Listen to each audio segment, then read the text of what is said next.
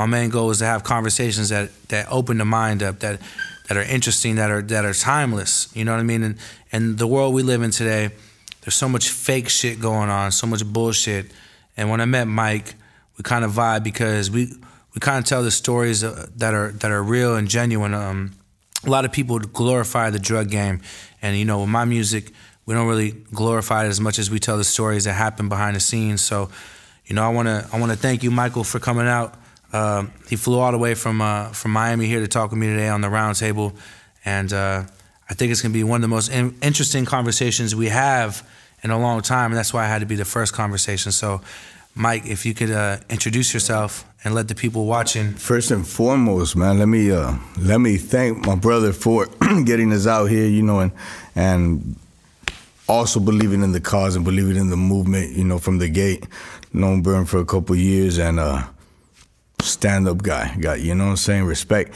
That being said, love it. I'm back home. Mike, introduce introduce yourself to the people that are listening right now that don't know exactly because we haven't even really given you the full introduction. I want you to give the introduction and who you are and just a little breakdown about yourself. All right. Well, my name is Michael Corleone Blanco, and I'm the youngest son of Griselda Blanco, known as La Colosas, La Madrina, the Queen of Cocaine. The Queen of Cocaine. Yeah, I'm basically I'm the youngest member of the Blanco cartel. Now I know just by watching Cocaine Cowboys too, and just by seeing documentary and biopics that that you had some time in the Bay Area. Did you grow up here in the Bay Area, or did you spend some time in, in Colombia growing up, or break down growing up for me a little bit? Break about- down growing up. Yeah, um, I like to say I'm from Medellin, Miami, and Morgan Hill. So yeah, I was raised in Northern California, and I was raised in Miami in the states. Lived in Queens, lived in Medellin for a decade and lived in Medellin when I was a child. And then later on in my mid adolescence, you ask me where I'm from. I'm from Northern California. I'm from Miami. I'm from Medellin.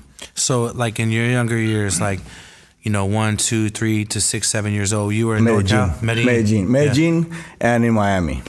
Talk During, about- during the second, during the the second cocaine cowboy wars, when the whole cartel was in in Miami, shit got hot. So even during the wars, half of the family would be in Miami, the other half of the family would be Beverly Hills, San Francisco, and I was hiding out with my oldest brother in the beautiful town known as Morgan Hill. Morgan Hill. Yeah. Now, when you were growing up in Colombia, like I imagine by the time you were born, mom, mom's already had it popping. It was already on popping. She was already getting it right. She already in the game full full time. Yeah, definitely. When when when I was a kid, you know, a couple years and I guess around the age of five, that's when my brothers uh, took over the cocaine trade from my mother, and they became the family. And obviously, they took over the cocaine trade in the San Francisco area, Oakland area. Was it uh growing up in Colombia? Like break down, like share some like moments of Colombia, things you remember about there. Like at that age and that mm. time, being somebody who's, I mean, there would be no Pablo without Mom Dukes. Yeah. Like she was really running things. And so when you were born in Colombia in the In- earlier in years, like- Medellin. yeah, in Medellin. Right in Medellin and in Pereira, because my father, my father was from Pereira, mm-hmm. and my mother was from Medellin. My my father was uh, the enforcer of the family, mm-hmm. you know, el artista, the actor, and his family, the my uncle Paco and my other Tio Diego, which have passed away, except my Tio Paco, he he was just released from 32 years that he did. So growing up at that time, yeah, Pablo was already Pablo. Everybody was all running shit. It was it was during the the part of my mother's career that she was already such an entity that she was Medellin Joe cartel, but she was the queen. She didn't have to listen to Pablo. Mm-hmm. She didn't have to bow down to anybody because she gave them all their first routes.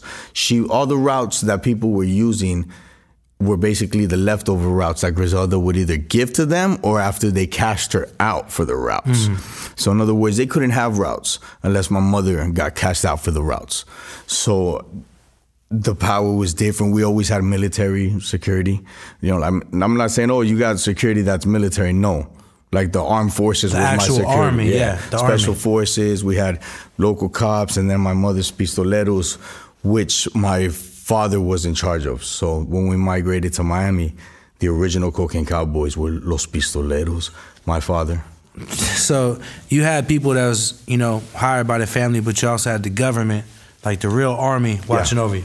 Yeah. That's crazy. I mean, if you think about it, like anyone out there getting money today that's doing what they're doing, I mean, they'll never experience that. That was a time in history that's probably not going to happen again. At least it will, will never happen in the U.S. But break down kind of like going to school, like moving around, going to. Was it different for you? Did you know it was different? Did you feel it at that age or? I'm gonna be honest with you. I didn't really experience a social school life mm-hmm. until California. Until Cali. Yeah, because here's where where we I got to hide out. You know, beautiful house on the lake in the hill. Um, my brother had a condo here in San Francisco. My brother uh, Chiqui had another ranch close by in the hills, and I got to Morgan Hill and I was being deprogrammed. So I went to a I wasn't a Blanco in Morgan Hill. We were hiding out. You feel me? Yeah. It was my brother Dixon, one bodyguard, his wife, and me. So I lived the life of no, you're not watching Scarface today. You're watching He Man, Yeah. and you're going down the street to school, and you're gonna ride a big yellow bus. Why? Because this is real life. No bodyguards, no guns, no killers around. You know, bulletproof cars, nothing. Big four by four trucks. A couple of rich Latino millionaires living on the lake. Yeah, I see. I, when I see pictures, um, especially in like every biopic, I see you and your mom like super close. Like you could tell that, like, you know, me personally, I'm a mama's boy. My mom, you know, and that's how I think we bonded when we first met. is Yeah, 'cause we both, us, yeah. you know, we we were raised by our moms with so much love and so much care, and so it's you know, I, I was always interested in your story. Like, man, I know what it's like to be loved by your mom, but you know, with her being in the game the way she was. I can only imagine her trying to protect you and keep you away from everything. Your brothers, your brothers were turned up. Yeah. My brother, um, Chiqui Blanco, Prince of Cocaine, Beverly Hills, San Francisco socialite, a local queen pin that was, I won't say her name, but a local queen queen pin of the San Francisco area was his cougar wife.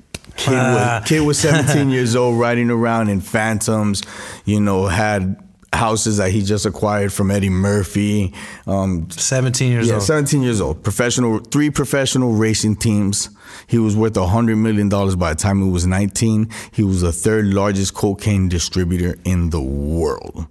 now, phantom that. That you don't see that now. Not that young. I mean, you got you got some Nah, nah. cycles out here getting crazy guap. You know, like what's out here some Nah, and some and some superstars. But let's be honest, Hundred million at 19 is liquid, it's cash, it's, it's right there for him. It's not like it's a trust fund baby situation.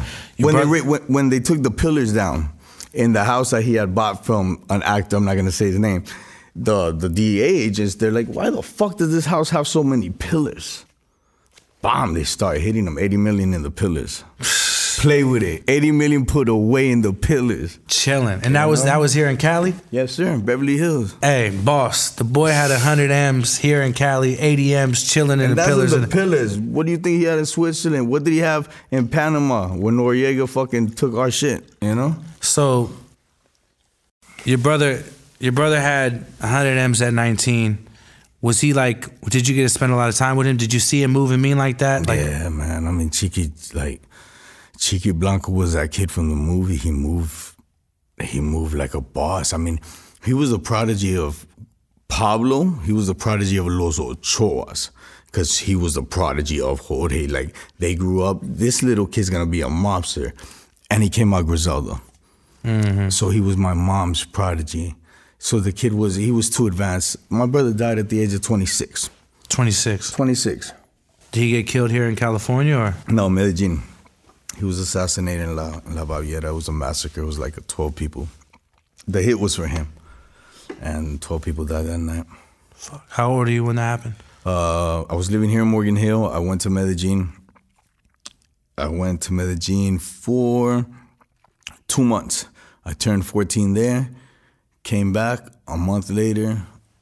Uh, you know, he got murked. Blew my mind. My my brother was my idol, man.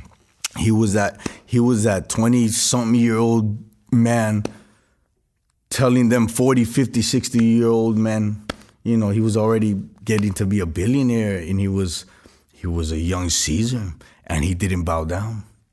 You know, a lot of people bowed down. Yeah, everybody had to bow down to Pablo. I'm not saying that, you know, that the man wouldn't give his just corrects to el patron, but he never paid taxes. And for you to not pay taxes to el patron, boy, either that patron loves you or he's just waiting for the day to get something from you, do it to you, Yeah. or or you're Griselda's son and Griselda gave you your first shot. And he respected that. And he respected He that. so I respected used to that. take letters from Pablo to my mom here in Dublin, Dublin Correctional Facility on Uh-huh. a military base.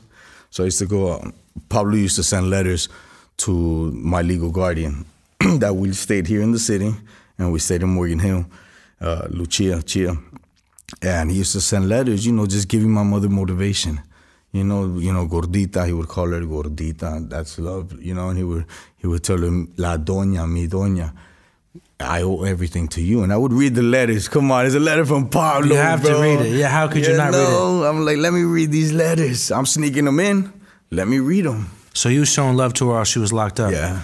Did you ever meet Pablo? Yeah, I met I met Pablo in Miami Beach when I was like I think I was 4 Mm-hmm. before my father was killed. He came to visit us at the Palm Island. You, you man, you were just there. You saw those houses on Palm Island. yeah. You know the one on the corner that was the Al Capone one.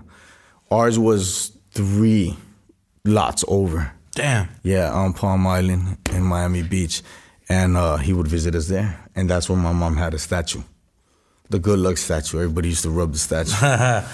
Do you do you remember anything about Pablo, or was it too young because you were four? no, then I saw him again, like, you know, when he was locked up. Uh-huh. My brother used to visit him every other week in. Okay.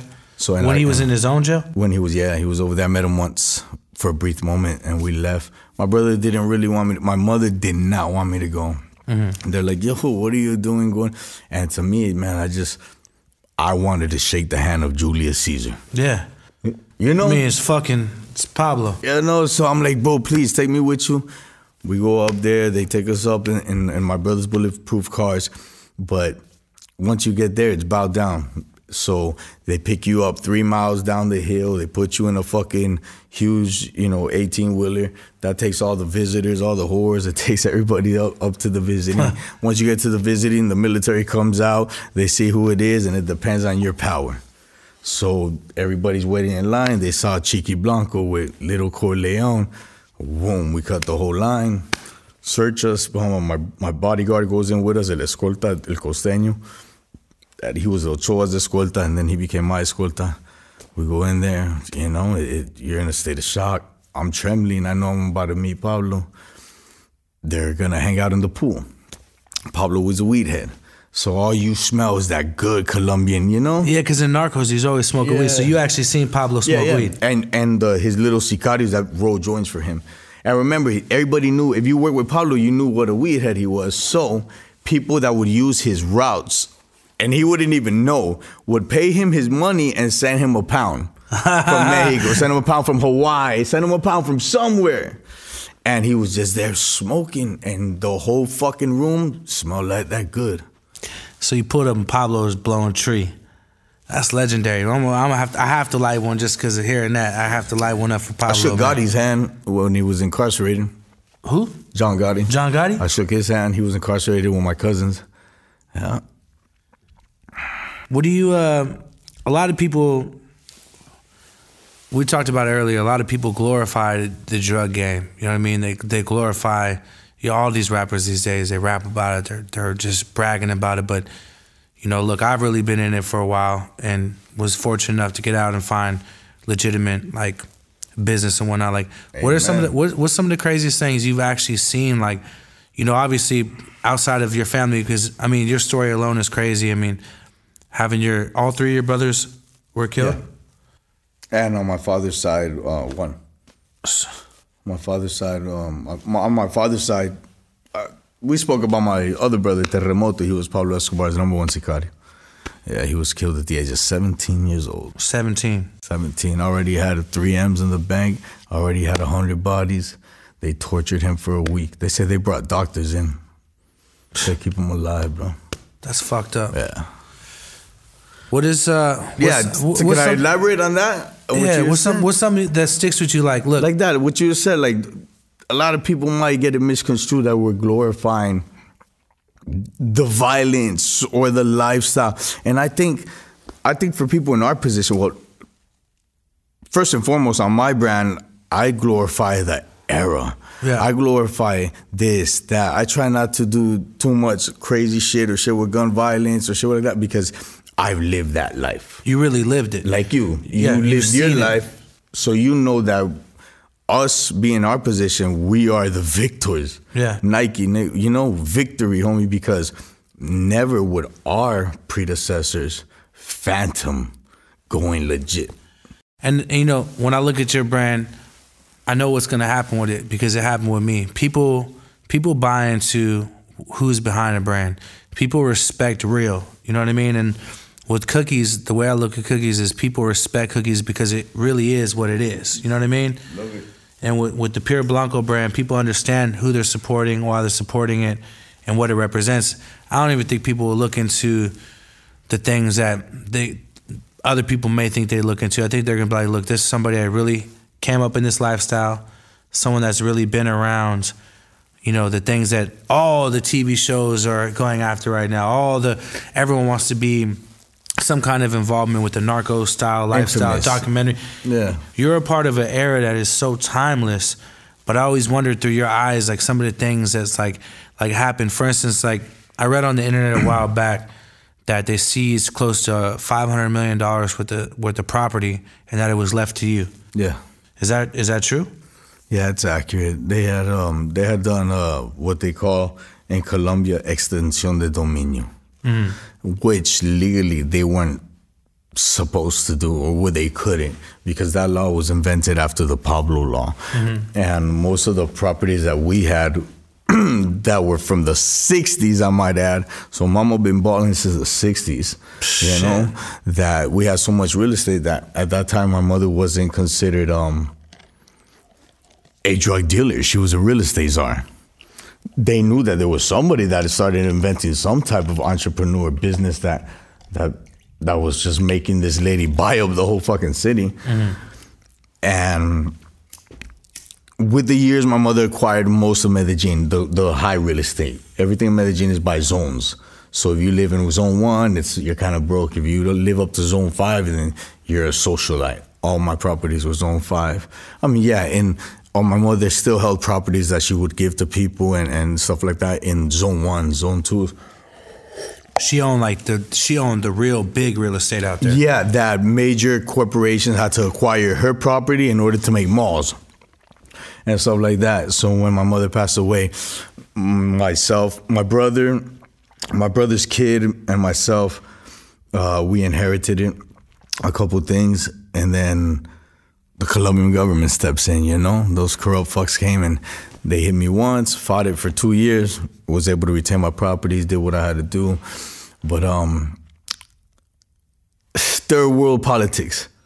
You know so what I'm you, saying? you were aware when when your mother passed away that you had these kind of properties, or Yeah, that you were I had them my whole life, so Yeah. I was aware what was mine and what wasn't. Yeah. and what was bought in 1970 and what was bought in 1989. Because yo, my brothers taught me how to become a businessman. Yeah. I had to take care of my shit at the age of 14. I was in line with lawyers.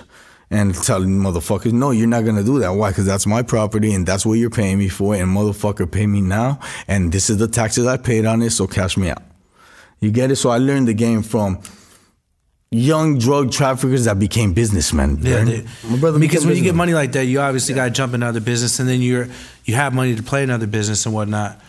That's that's actually really hard to even swallow. Look, I've lost, I've lost bread or I've lost things playing with the you know the pack game, but 500 m's worth of property. I mean, did they even notify you correctly? Did you have to see it on the newspaper? Like, Man. bro, like I, I was incarcerated the second time.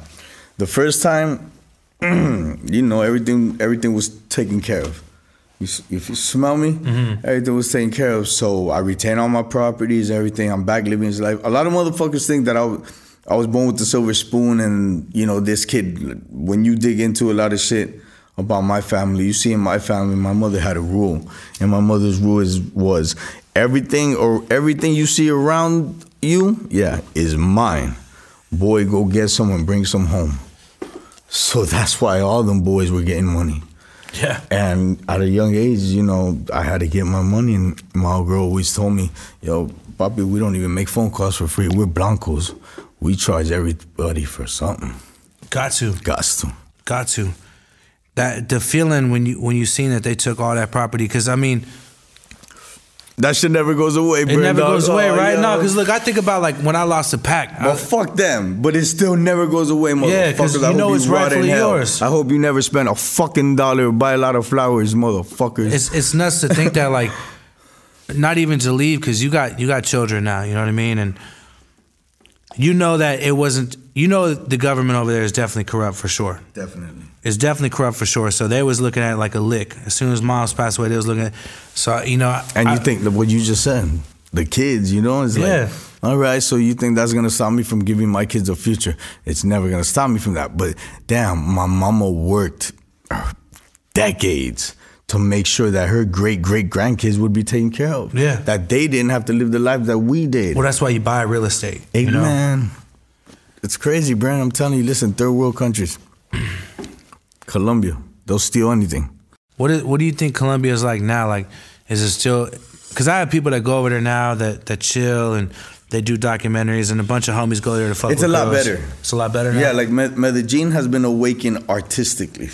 It's it it has always been a very kind of like the vibe in San Francisco. It's always been a very Big culture, yeah, right? big culture, big bohemian. A lot of people don't know, but Medellin is a marijuana smoking city. Sure. People be like, no, it's you know, it's the cocaine capital of the world. No, if you do your math and you understand your math, Medellin, el barrio Antioquia, el, ba- el barrio Santísima Trinidad, was started by bringing reefer into the into the city of Medellin, and it was the only neighborhood that had uh, killers, Afro-Colombians, whores, bootlegging, and marijuana. And there was a there was a lady that controlled that, and her name was Griselda Blanco. Your mom was in the weed game. That my mama was in the weekend. That's how my mama started. She went to the Andes to get a little strain. What do you think that weed was like? I've smoked it. A lot of people smoked it. And to this day, you know, in the 80s and 90s, it was a very popular strain. strain. Uh, you know what time it is. I'll tell you, you've heard it. Colombian Gold. Yeah, no? Stop it. I'm not playing. Colombian Gold in the Andes.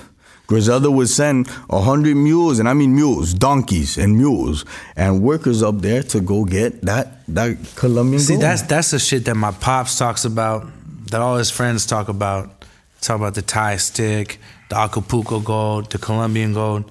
So your mom, I didn't even. Your mom was responsible for Colombian gold before before all the other. Yeah, as a matter of fact, when she took over Queens, New York, with her partner, with El Capitan, with Bravo, they didn't, the cocaine wasn't being crystallized yet.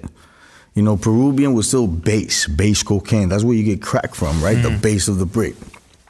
So Griselda's first outlets and how they started what's the, the most that they can get tons of and put it on the captain's boats? Weed. So she started with los guajiros, and a lot of people just shipping, you know, hundred pound here, and then they got into tons. And then after New York, Florida opened up, and then she would just flood it ah, with Colombian gold, you know, boom, weed everywhere. And then when she relocated, she went back to Colombia. By the time she had to flee Colombia for being the most wanted woman in Colombia, right? She was still on the run in New York on a million dollar bond. Griselda was the first woman ever to place a one million dollar bond and told them, keep that shit, I'm gone. And when she relocated back for the second time to Colombia, that's when crystallized cocaine came into the picture. She came back to Miami, and then it was like, all right, weed made me a shitload of money, but we already made a good money with cocaine in New York. Yeah, let me just flood Miami. Fuck. And she flooded it.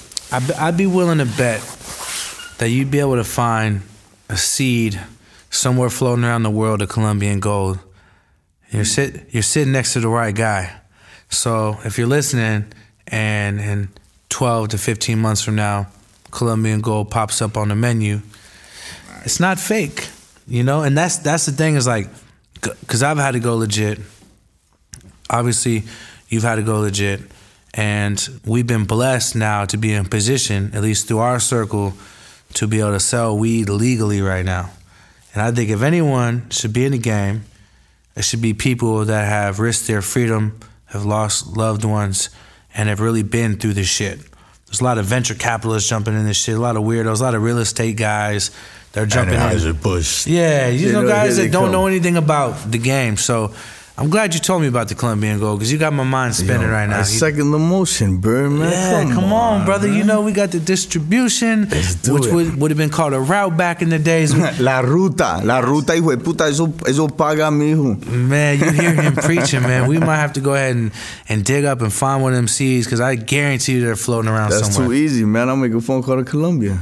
Besides, besides the property that was seized from the family, um, any jewelry, any paintings, anything that's just Oh, like man, anything that's just like fuck. Don't get me started. You know what it is? I was running through my album the other day and looking at my house, the one they just took fucking two years ago, those bastards.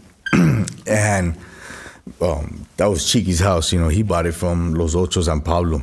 So dope, dude. So dope. Fucking listen. So Pablo gives us, Pablo sells. Because Pablo would give. Like the, the ranch that my brother have, that had that was Pablo's, the one with the soccer field, the one house that he had his daughter's toy room. Um, they would, uh, people would say, no, Pablo gave that to Chiqui. No, Pablo didn't give it to Chiqui. Chiqui cashed him out for it. And then Pablo told him, yo, you don't owe me anything more. Keep the keep the rest of it. And I guess he owed him another like two mans on it, two mil on it. And Pablo's like, yeah, I keep it, it's yours it was never given to him. He paid most of it, but then Pablo be gifted the two M's that he Yeah. owed him. Um, he bought my brother Chiqui bought from Pablo a painting that was called Bacanal, and I had it on my I had it on the wall up to two years ago. Fuck. Yeah, that shit pisses me off because And that shit was that- a- yeah, that's time. That's time. That's real art. You know real what I mean? art. And then I had shit from narco artists. In Medellin, there was a crave at one time, like a craze about narco artists. Artists that would only make paintings for the wives and for the narco men that wanted a type of artwork. And they would sell their paintings for a million dollars. A painting that in fucking Los Angeles would go for a stack, a thousand dollars. Because they had the narco clients. Yeah. And my brother Chiqui, you know, he just came home from doing seven and came home and two weeks later, you know, sent his first 200. So he, he blew up and he just started buying paintings from everybody and had a lot of shit on the wall from artists like Pavon. That everything that man made was for narcos only. That's Manny. Manny, and they sees that shit too. There's, I, man, I'm destined to find one of those art art uh, pieces of art floating around somewhere because you're making art for somebody that you know got a crazy ass bag. I mean, money floating everywhere. They probably were fired up to do that painting, bro. And it's never probably gonna happen again. That's never again, because that time will never come. Yeah, everything is uh, everything has changed. Even in the third worlds, I'm sure that there's still cartel. I'm still there's there's definitely still cartel. There's definitely still, there, but it, it's not as crazy as it was in the beginning. The beginning was the beginning. Yeah, the pioneer shit, bro. The pioneer shit. Never again. Shit was crazy. You think there's still money flowing around Colombia? Like, do people? Have you ever heard any stories of Oh, psh, yo, burn. a motherfuckers hitting old? Listen to me, paisas, motherfuckers in the hills. You know, they're just next to a tree. They're digging up a hole, and here comes Gacha, el Mexicano. You know, the one that started the routes to Mexico. He he was my mom's friend, also partner in the Mexican. Gacha? Yeah, Gacha. He was my mom's partner in the. ro- He gave my mom a million dollar uh, signing bonus. Not like like. Here's a million dollar for your signing bonus for distribution. Griselda, can I fuck with you? Here's an M.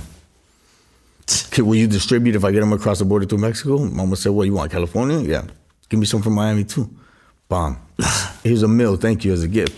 So to this day, they dig up gold bars. Gacha was the smartest. He didn't do, he put all his paper currency into gold. oh shit! So like, yeah, you know, he was like he was like one of the first narcos that besides my mother that everything was gold in the house from the toilet. He was on some crazy shit, but he would he would stash all his currency in gold bars and kilo bars. So to this day, people dig up some shit. They have to. I mean, I'm I'm knowing that if someone killed me, all my shit that's you know hidden or buried, no one's gonna know where it's at. Someone's gonna find it someday. You know Somebody's I mean? gonna live good, burn. Someone's gonna find Yeah. something. They might find a little weed vacuum sealed in my little capsule too. You know what I mean? That's super old.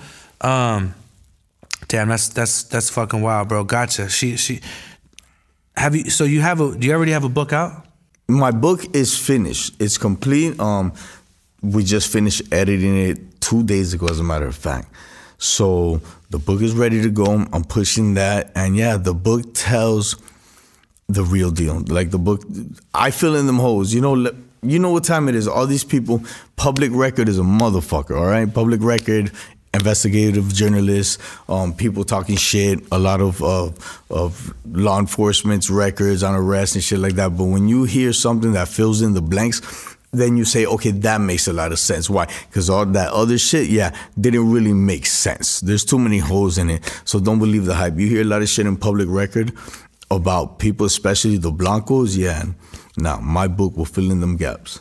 It's super important. I mean, I mean, I already know that the story you can tell and the knowledge you have, like I said, it's a part of time that will never come back. So I'm just, uh, I'm just to definitely fucking read that.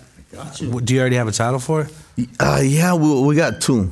We got you know in Spanish and English, and I have the English version with the with the um, alternate beginning. But I have two titles for it. I just can't disclose them. Nah, you. When it comes, it will be the right time. Hey, I got you with one and, of the first batches. And and I've seen on the internet too, and we talked about it. You got a TV show coming too. Yeah, which definitely. Yeah, oh, everybody, January seventh, nine is, p.m. Yeah, Cartel Crew VH1. That's gonna I mean, be. You, you, know what, Brent? Man, I'm listen. On some real shit, it's a pleasure to be here with this man right here. Real, recognized, real all over the world. I'm gonna tell you something. People think that you can build a brand overnight, bitch. Rome wasn't built overnight. It sure tell was you not. like that. And what sure this man not. has built, and I'm I'm I'm trying to get there. I'm making my way up, but I'm gonna tell you something. When it comes to this narco brand shit, I do this, but I didn't start last night.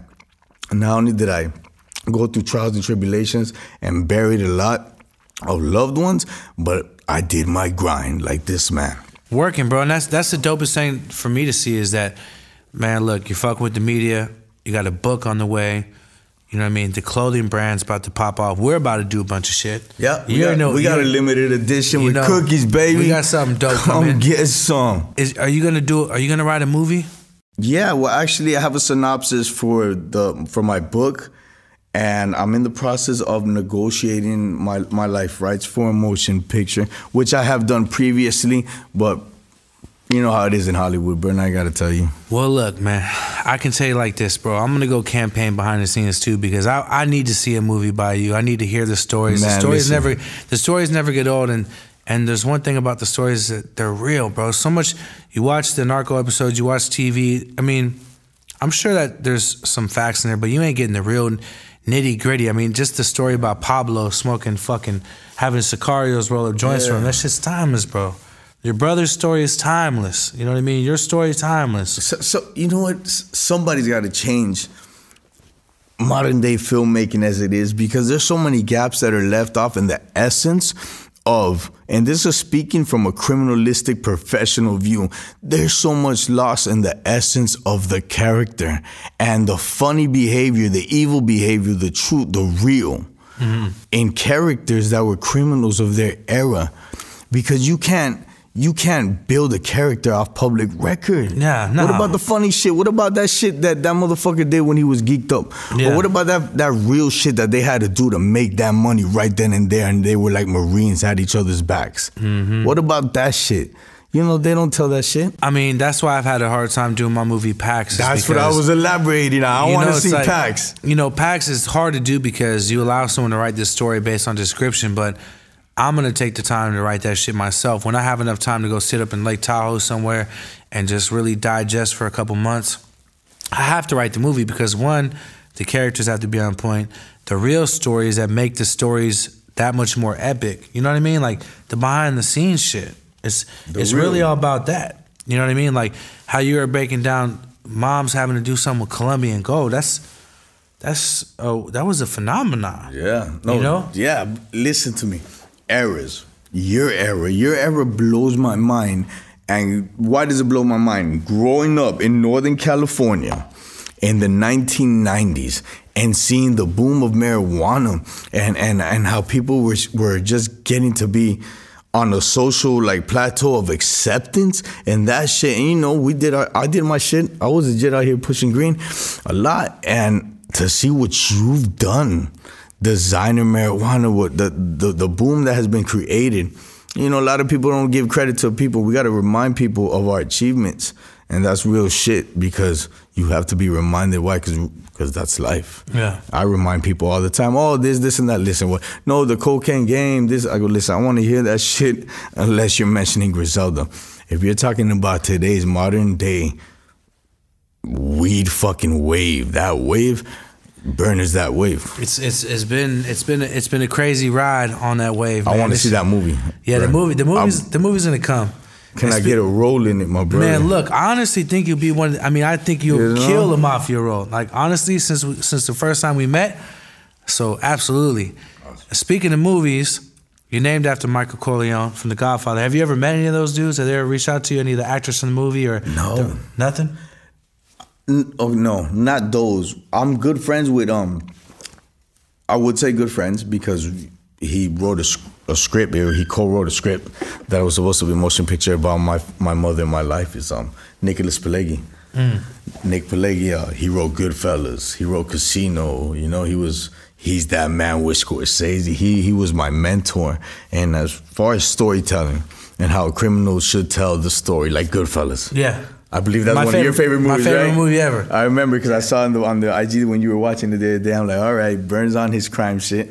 It's it's my favorite movie because it's one of the dopest mafia movies. But also, when I was growing up in Frisco, uh, me and my little brother lived with my dad at the time. He was running the restaurant. We lived above, studio apartment. Me, and my little brother, the chef across the way from our restaurant, and my dad. So four of us in a studio apartment.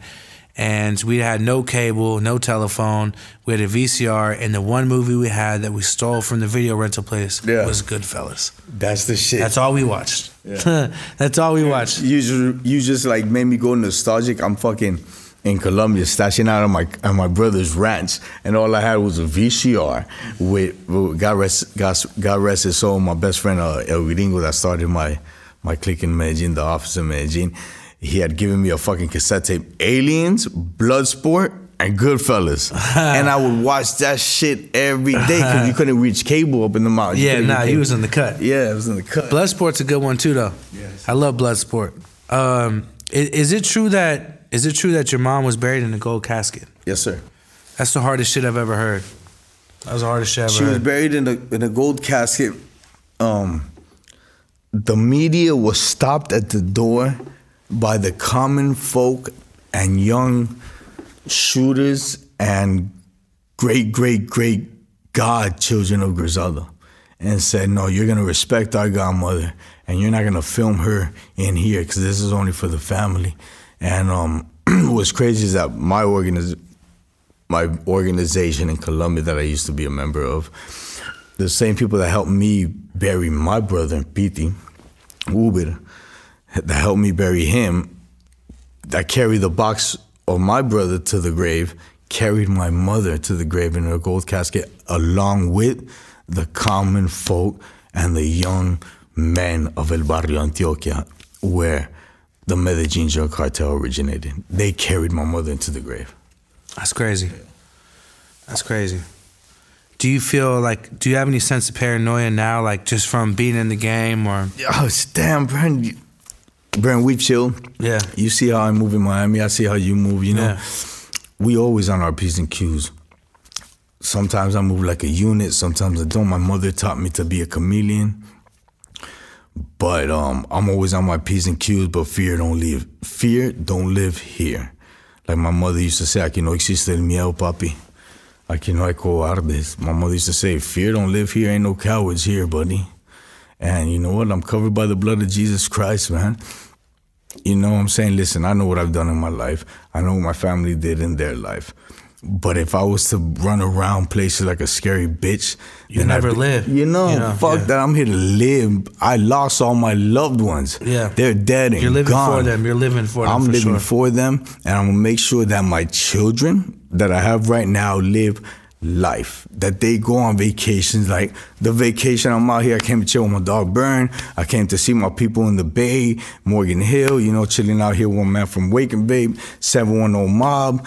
You know, and I'm out here just to show love and to what live life. So I'm not gonna live life scared, Burn dog. Can't, bro. Fuck that, nigga. We out here. We out here chilling. You know. And you know, I think like me, I always feel targeted. Like I feel like just because all the eyes on me from from the weed game and from actually playing around in the game before the legal game, you know, I used to always feel targeted by the, and I still feel targeted by by feds or Oh, cops with the extra hard on for me. But lately, I just been like, bro, I've been so on my shit.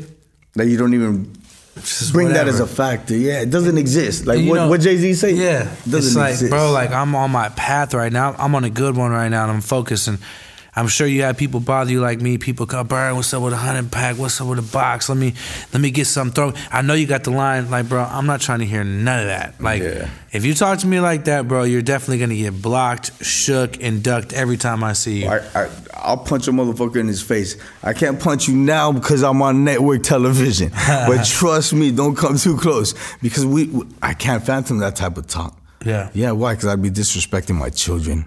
I'm a corporate man. I'm a businessman. You're gonna now. win, and we're gonna get this. We're gonna get this movie in motion, bro. I already, I already know because, I've, well, I don't even think it should be a movie. It should be more like a, like a. It should be a series. It should be some kind of like a, a TV series because the stories that live from everything. If you think about all the different, I mean, your story alone is nuts. But if you attack your brothers, Oh, yeah, and you hit you hit every story around. Oh, it's incredible. Your brother definitely deserves a Yo, story vice, sure. vice versa with Pax. Yeah. Like, I know a little about a little bit about production. Yo, Pax blows my mind. That could be something that could be global because it was global. Yeah, on some real it's shit. global and it's rel- It's right now too. You know what I mean? Like if if we hit PAX now, if we get it done now, it's gonna be amazing because no one's ever like it'd be a like picture if there's a movie about prohibition while alcohol was just being legalized. You know what I mean? Yeah, So if you do it with the weed and we hit it, it can be big. and the truth. Yeah. Because real people don't want to hear that bullshit, man. I don't want to hear what you thought you were Remember doing. Savages, that oh, movie? my The god, worst ever. They portrayed some lady to call La Madrina. I never seen the lady in my life Ever. ever. Yeah, there, there's a lot of fake, uh, you know, bullshit on TV these days. But look, we're gonna take a break. I think we got some uh, some nice uh, Puerto Rican food out there waiting for us. We're gonna go take a break, and uh, we'll be back in a minute. We're back. We had a little uh, a little Puerto Rican food for lunch. Sparking up a joint of some London pound cake. I'm here with my brother Michael Corleone Blanco. You know, probably one of the dopest interviews you ever hear on the round table. We call it the round table because we chop game. We sit down. We talk about real life things. Um, we're talking about weed earlier. I mean, the fact that your mom, Gazzetto Blanco, is behind Colombian Gold is epic to me. And we're smoking some London pound cake. Medellin, obviously, you know, you watch Narcos, you see Pablo smoking weed. You told me that Pablo was actually a connoisseur, which is which was actually pretty dope to hear. Pablo smoking all different kind of weed. I mean, that's what I always imagined and wanted to picture. I didn't want to picture him just smoking some bullshit. Yeah, always smoking fine. Yeah. you- have you seen El Patrón del Mal? The soap opera? I haven't. If you see a soap opera, he's always blazing the whole soap opera. And so he's, and, but it's good to know he's blazing flavors though. Like as a big weed head, like Pablo, you know, Hawaiian it's fucking strains. Yeah, Yeah, he he's was smoking smoking. crazy shit. What's some of the other weed that floats around like Colombia? Like, were you old enough to to know about it when you was on? Definitely, man. Listen, like the Blanco family transcends time, generations. You know, it's crazy because I, I'll tell stories of real shit that I saw happen in two different times. It's, crazy, right? Because then I remember smoking mango biche. Right, which is a green mango, right? Mango biche, not ripe mango. Punto Rojo, Red Point, in New York City and Colombian Gold in New York City, right? Yeah. And then fast forward when my brothers were released and me showing up in the 90s in Medellin, Antioquia, my mother's neighborhood, El Barrio Antioquia, is considered the weed capital of Medellin. We need to get out there. Yo, but listen to me. When you like now, because there's a lot of designer marijuana. You know, uh everybody that we spoke about, the Creepy Kings, um, Amsterdam boys that went to from Medellin to Amsterdam, came back and they started the designer weed craze in the um, late '90s, early millennium in Medellin. That's where it's at, El Barrio Antioquia. Back in the days when I went back home, after my brothers were released from federal correctional facilities and they started trapping, or should I say, internationally drug trafficking, I remember going to buy packs of um, Punto Rojo in Mango Biche when you feel like you, you're smoking designer weed, but it's not. It's 100% natural from the Andes. Crazy. Because I'd be willing to bet that like the strains out there that's floating around Colombia, if you were to grow them inside, you know, you do it indoor the way they were growing the shit that we're smoking at, there's got to be some heat out there. I mean, if you think about it, all the shit that we have out here, a lot of people went and found in different places, you know, where Kush is rumored to be, you know, originally from and things like that. Like, I bet you some of that shit out there is really smoking though. Yeah. Did you ever smoke? You so you smoked that weed? You smoked weed from Colombia while you're in New York? And in Colombia, yeah, of course. And in Colombia, yeah. And then and then weed from Amsterdam in Colombia. How old were you? Uh, what was uh, how um, old were you the first time you smoked? Uh, damn, I'm gonna tell you the truth. Honestly, my brother Dixon and Negro, he was a pothead.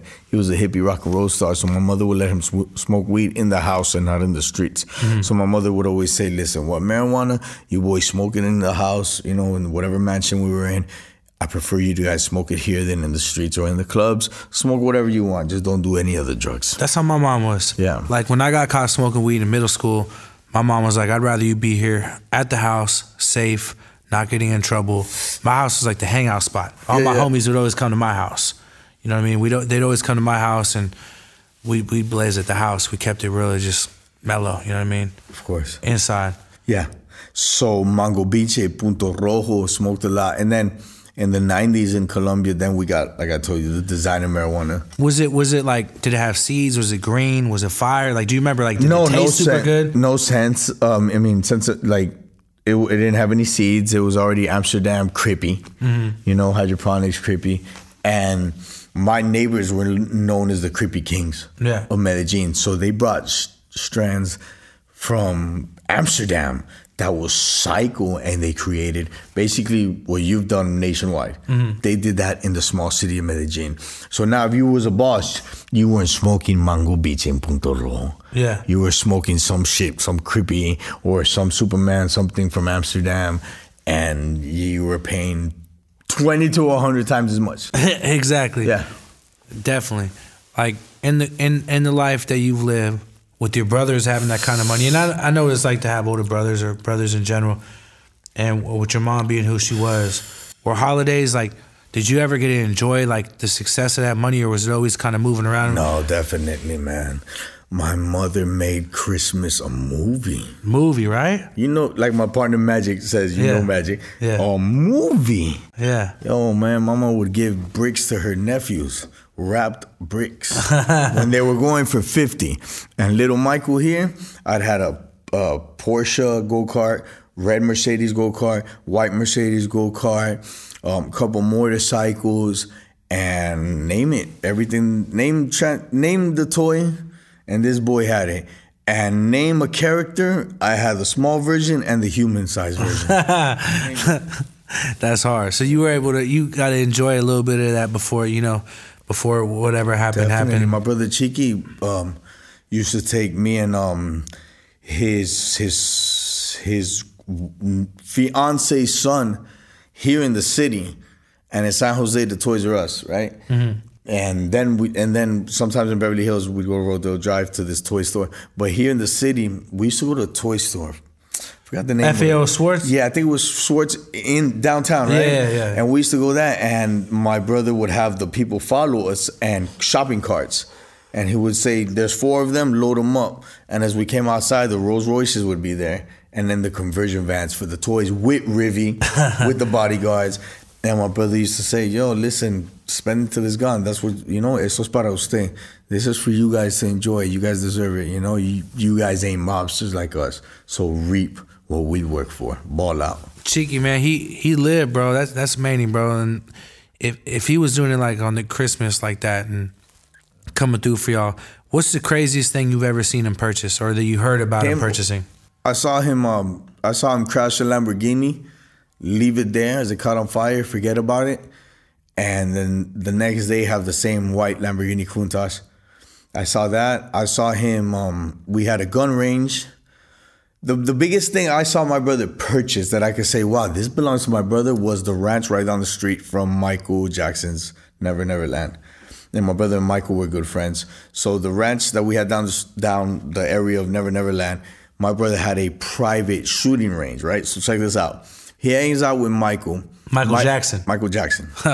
right? The guy with the white glove, right? Oh, so check this out. So Michael Jackson's got a whole bunch of black bodyguards. My brother Chiqui, he's from Miami he's moving out here to California, and you know he digs. My brother, my brother Chiqui was the first Colombian cartel member to actually sell drugs with Afro Americans. And that's a fact, all right? So he starts making this money and he sees Michael Jackson got a hundred, you know, three ring security guard. Like, so he tells all them at Michael Jackson's party at the ranch, how much does Michael pay you? And they tell him the price, and Chiqui says, I'm gonna double it. You guys start tomorrow.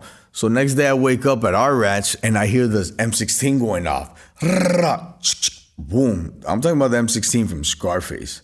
My brother was practicing the grenade launcher. No, and I'm like, oh, here." Chiqui, the grenade. Remember, I grew up around this shit in Colombia, right? Yeah. So I run out to see them hitting the mountain of dirt that he had the tr- the tractors put together the day before, and he's hitting it with the grenade launcher. And I come out, and most of the guys that are there, the, the Latin guys always around Chiqui are there, but it's like 20, 30 black guys, and they're all huge. So I asked my bodyguard, yo, who are all these guys here? And he goes, oh, that's Chiqui's new bodyguards. And he's like, yeah, he bought them yesterday from Michael. that that uh, that kind of that I never would have imagined that. Like you know, I thought he was gonna say something like the boy had a crazy like diamond, you know, diamond uh, something, or you know, the boy man, the boy bought a house. How old was he when he did this? 18. 18 years old. Play with that. Bought a house next to Michael Jackson. Knew Michael Jackson. Yeah. Bought his security. Popping the guns from Scarface in the backyard. dated everybody. He was he was ahead of his time. He was the prince of cocaine, and his his mother was John D. Rockefeller. His mother was Griselda Blanco. So he he he lived in lap of luxury, and his mother told him, "Yo, you got balls? All right, take over." And he took over the routes. Next thing you know, he was 15, sent his first hundred bricks. That's all I'm gonna say. Did he ever have any like? Did your brother ever buy any crazy ass animals? Did you, did you guys have like? In if you guys ra- were on the ranch, like, yeah, in the ranch, and um, in in this ranch, he had uh some thoroughbreds. That one was the offsp- offspring of a Kentucky Derby winner, but in Colombia, on the ranch that Pablo gave him, he had um white Bengal tigers, or he had some Bengal tigers, and. My mother's the one that taught us that because in all our houses in Florida, she always had royal birds, royal birds and monkeys. I had a monkey that died, and she always had um uh, lioness, not lions, but female lions. So Chiqui, Chiqui, when I got to Colombia in 1992, after he was deported, 1991, my bad. um, we go to that ranch. I got off the plane and went to Pablo's ranch, right? And uh, I the one saw- with the airplane, The- or no? no, no, no. That's Hacienda Nápoles. Okay. No, the ranch that my brother had just acquired from him. Okay, I bought got from you. him. And we go there and uh I see these bamboo cages right outside the guest house. Not even the main house, the guest house where everybody's partying at, right next to the nightclub. Because Chiqui put a nightclub on it. There wasn't a nightclub, but Chiqui said, I want a nightclub On his ranch. on his ranch. so he bought the nightclub and everything. And he had all the fixings made out of gold. Yeah. Golden. Like all- the walkway that separates the VIP was all gold, real gold. You know, twenty two karat, all that. My brother was on. He was he was psycho with it. God. Yeah, you know, he was a stunner, bro. He learned from his mom, and um, um, I see what they what he has in it, and it's tigers, and there's little tigers running around with a mama tiger, and there were uh, Bengal tigers. But he was about that. He had monkeys. He had a lot of shit. You know, I mean, that was very popular in Medellin and, and during during Pablo's era. That's fucking nuts. Yeah. When we were talking uh, at lunch, when we were outside having a little break, um, you mentioned something, and um, I didn't want to bring it up earlier, but you brought it up. You know, with me, as far as my dad, my dad, I didn't get close with him until after my mom died. When my mom died, I became close to my dad. He moved in with me, and now is you know there for my daughter and and there for you know me, and it was crazy. I never imagined to be close to him.